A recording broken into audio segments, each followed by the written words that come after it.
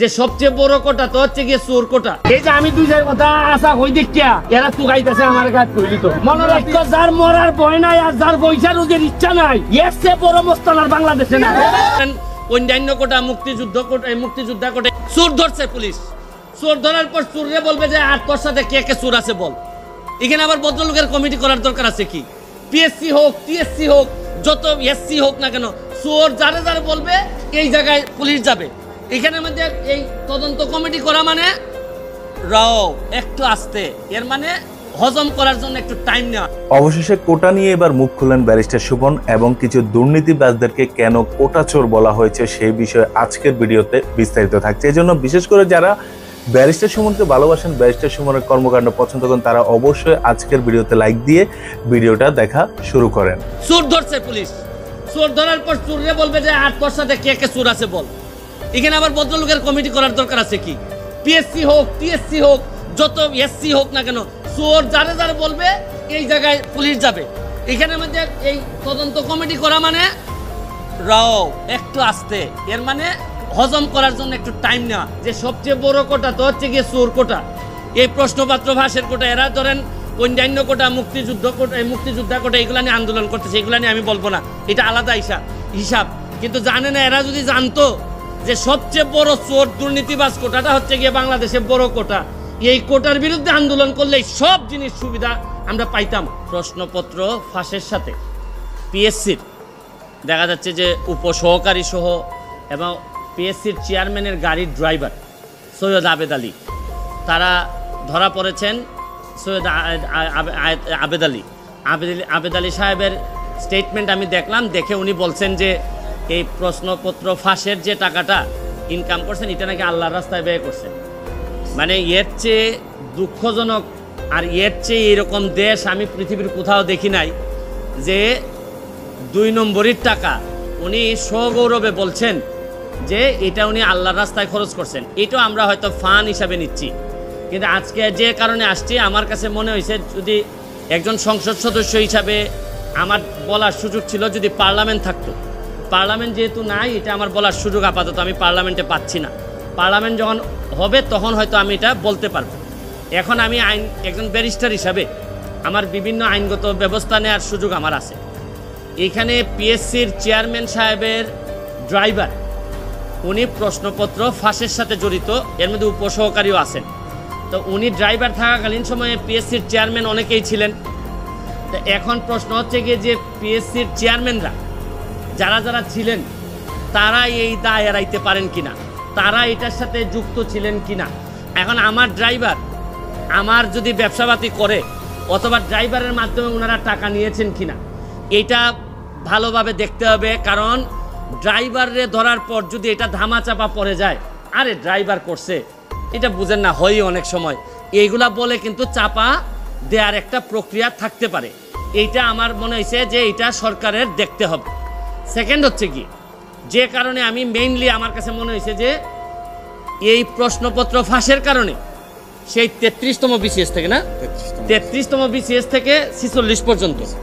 এই পর্যন্ত উনার মাধ্যমে অনেকেই সরকারি চাকরি পেয়েছেন বিসিএস কর্মকর্তা হয়েছেন এই প্রশ্নপত্র ফাঁস করার মধ্য দিয়া। তাইলে উনি যেহেতু ধরা পড়েছেন তাইলে এখন যারা তদন্ত করতেছেন তাদের মেইন কাজ হবে এই প্রশ্নপত্র ফাঁসের মধ্য দিয়া, এই চোর যারা, এই চোরগুলা যারা প্রশাসনের বিভিন্ন জায়গায় বিসিএস কর্মকর্তা বা বিভিন্ন হিসাবে বসে আছে, তাদেরকে তরিত তাদের নাম সবার সামনে নিয়ে আসতে হবে এবং এদের বিরুদ্ধে ব্যবস্থা গ্রহণ করতে হবে।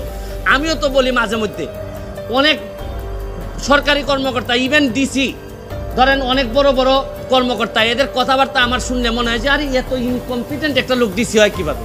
একটা ইনকম কম্পিটেন্ট একটা লোক, ইয়নো হয় কীভাবে? আমি যখন দেখি তখন আমার হিসাব মিলে না। এখন আইসা ওই সৈয়দ আবেদ আলীর মাধ্যমে আমার কিছু হিসাব মিলতেছে। তাইলে এই চোরগুলা ওই বিভিন্নভাবে ছড়াই পড়ছে। শুনেন, যুদ্ধাপরাধী, মানবতা বিরোধী অপরাধীরা যে যে জায়গায় থাকে আমরা খুঁজে বের করি। এদেরকে দায়িত্ব দেই না। এদের সেই এই চোরগুলা কি কোনো অংশে কম? এরা সারা জীবন দেশটারে লুটতে খাবে। আরে এই আবেদ আলী তো চলে যাচ্ছে। আবেদ আলীর তো আর কোনো অসুবিধা নাই। যা বানানোর বানাই ফেলছে। আর এই যে আপনার ডাসার উপজেলা চেয়ারম্যান প্রার্থী হয়েছিল। আল্লাহ বাঁচাইছে ডাসার মানুষে। যে, এই যে মাদারীপুর না এটা? হ্যাঁ হ্যাঁ। এই কালকিনি না তো আবার? কালকিনির পাশে। যে কালকিনিও তো বিখ্যাত বিভিন্ন কারণে। এই ডাসার উপজেলার মানুষ বাচ্চা যে তারে মানে পাশ করায় নাই না? ও চাচ্ছিল, করে নাই নাকি? ও আচ্ছা নমিনেশন পায় নাই। ও নির্বাচন হয় নাই। তো যাই তার কাছে যে মেকানিজম ছিল তাতে আল্লাহ মাহবুদ জানে হয়তো নির্বাচন হলে পাশও করে যেত। তাই এখন হচ্ছে কি আমার মেইন নাইলে যদি এর ভিতরে আমি ব্যবস্থা না দেখি, আমি হাইকোর্টের শরণাপন্ন হব। কারণ আমাদের তো জায়গা হচ্ছে কি হাইকোর্ট যদি এর এই ব্যাপারে ব্যবস্থা গ্রহণ না করা হয়, কার কার আমলে এই ড্রাইভার সাহেব ছিলেন পিএসসির চেয়ারম্যান তাদের এইটার দায় দায়িত্ব আছে কিনা, তারা এটার সাথে জড়িত কিনা? এরপর হচ্ছে গিয়ে এই প্রশ্নপত্র ফাঁসের ঘটনায় কারা কারা অবৈধ সন্তান হিসাবে প্রশাসনে জন্মগ্রহণ করছেন এবং জন্মগ্রহণ করে এখন বিভিন্নভাবে দলীয় তকমা লাগাইয়া ভালো ভালো অবস্থানে আছেন, এইটা আনতে হবে। শুনেন, কোটার জন্য আন্দোলন করে, ছাত্ররা সারা বাংলাদেশের মানুষ কোটার জন্য আন্দোলন করতেছে। কিন্তু এরা কি জানে যে সবচেয়ে বড় কোটা তো হচ্ছে গিয়ে চোর কোটা? এই প্রশ্নপত্র ভাষের কোটা, এরা ধরেন অন্যান্য কোটা, মুক্তিযুদ্ধ কোটা মুক্তিযোদ্ধা কোটা এগুলা নিয়ে আন্দোলন করতেছে এগুলা নিয়ে আমি বলব না। এটা আলাদা হিসাব হিসাব। কিন্তু জানে না এরা যদি জানতো যে সবচেয়ে বড় চোর দুর্নীতিবাজ কোটাটা হচ্ছে গিয়ে বাংলাদেশের বড় কোটা। এই কোটার বিরুদ্ধে আন্দোলন করলে সব জিনিস সুবিধা আমরা পাইতাম। কিন্তু এটা আমি পরে হয়তো আরেকদিন বলব। তবে এখন আমার বক্তব্য হচ্ছে স্পষ্ট। এদের বিরুদ্ধে কারা কারা প্রশাসনে আছেন, তাদেরকে বের করে তাদেরকে আইনের আওতায় নিয়ে আসা হবে। নাইলে এই দায় সারা জীবন বাংলাদেশের বয়ে বেড়াতে হবে। আমি একজন এমপি হিসাবে একজন ব্যারিস্টার হিসাবে আমি মনে করি এটা জাতির সামনে নিয়ে আসা আমার দায়িত্ব।